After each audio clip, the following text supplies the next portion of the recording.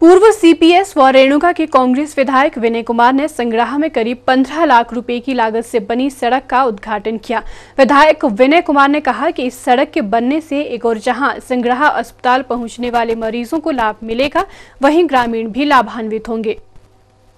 पूर्व सीपीएस व रेणुका के कांग्रेसी विधायक विनय कुमार ने संग्रह में करीब 15 लाख रुपए की लागत से बनी सड़क का उद्घाटन किया।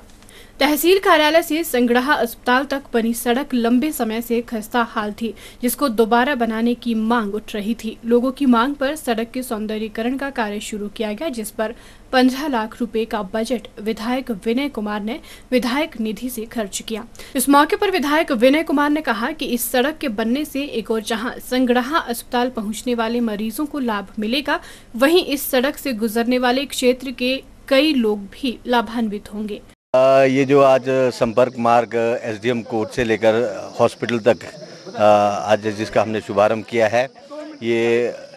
संपर्क मार्ग पहले बना था, पर ये अच्छी हालत में नहीं था, इसलिए इसकी सौंदर्यकरण के लिए और इसमें टाइलिंग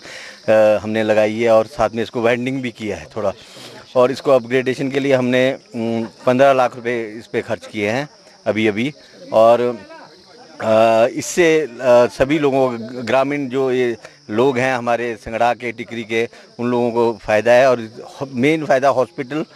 और ब्लॉक ब्लॉक एजुकेशन ऑफ़िस है, यहाँ स्कूल है, यहाँ रेंज है, इन सभी लोगों के लिए पंचायत के, पंचायत का, पंचायत घर भी यहाँ है, इन सभी लोगों को इससे फ़ायदा है और सब जो गाड़ी है वो डायरेक्ट उनके द्वार पर पहुँचती है। सिटी चैनल के लिए नाहन से सतीश शर्मा की रिपोर्ट।